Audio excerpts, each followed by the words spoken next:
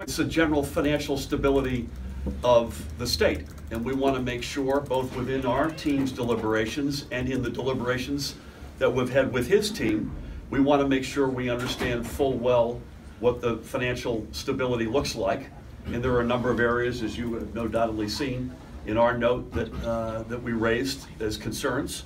And we're having an ongoing discussion with the governor and his team, and those continue to be concerns. There's nothing, there's no one item, it's just we want to make sure we have a as strong a state as possible, and that's what we're Also, committed in, to. in the conference committee on taxation. About the federal tax The bill. federal right? tax bill. It's just awful, whether it's state local deductions, property tax, undermining student loans, undermining alternative energy, cutting corporate taxes to the bone, and they're all saying, listen, this is gonna be good for workers and wages. The fact, guess what, we've seen this movie several times before. You know who's gonna do really well? The senior executives, it'll widen the gap between them on the one hand and the so-called factory floor on the other hand, and shareholders are gonna do really well because they're gonna get their shares bought back.